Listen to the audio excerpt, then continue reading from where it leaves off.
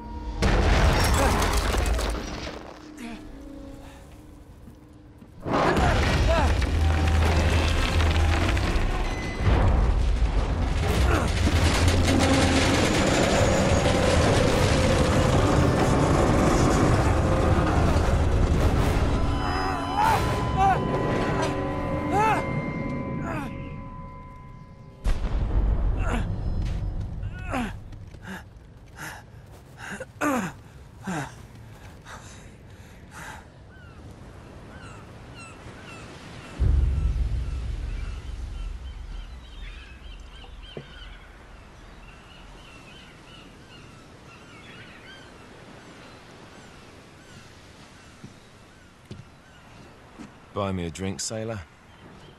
Harry Flynn? Hey! What the hell are you doing here? I'm looking for you, mate. Uh-oh. Should I be flattered or worried? Maybe a bit of both. Come here. I've got a job for us. Really? The client is willing to part with a huge sum of cash if we acquire a certain object for him. All right, I'm listening. Now, you're not gonna like this. Oh, no. No, you're out of your mind. Yeah, you just, just hear me out for No, a second. Flynn, we both know two people who were killed trying to lift something out of this and place. one who made it out. Yeah, barely. I can't do this without you, Drake. You're the only one who's cracked it, and you know better than anyone it's a two-person job. No, no, no. Three, actually. Right. And speak of the devil, here she comes now. What? Chloe Frazer. Nate, Drake, Nathan, Drake. Hello, Harry. Chloe here's one of the best drivers in the business. She'll take good care of us. I bet. Right, look. I've got it all figured out. We go in through the sewer. Loving it so far. That puts us in the courtyard. From there, we scale up the wall, run across the rooftops, and just drop down into the exhibit hall. Bob's your uncle. And what is worth all this trouble, I hear you ask? I didn't, but go ahead. But that's it. An oil lamp. Yeah.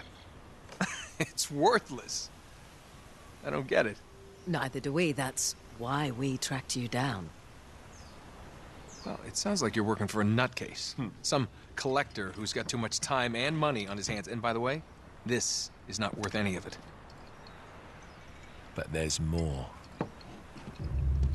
How's your 13th century Latin, mate? Where'd you get this? Borrowed it from the files of the nutcase. Uh-huh.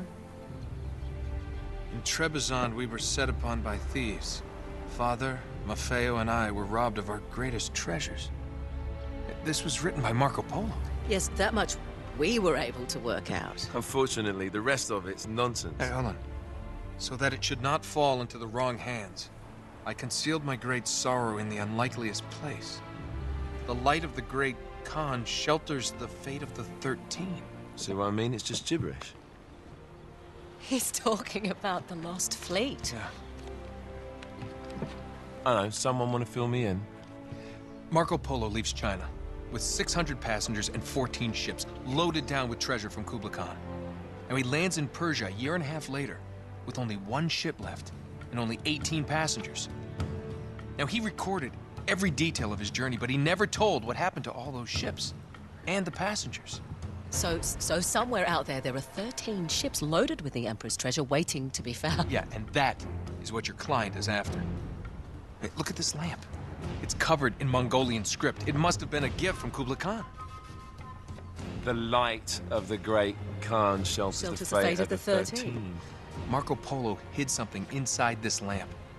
Something that pinpoints the site of the Lost Fleet.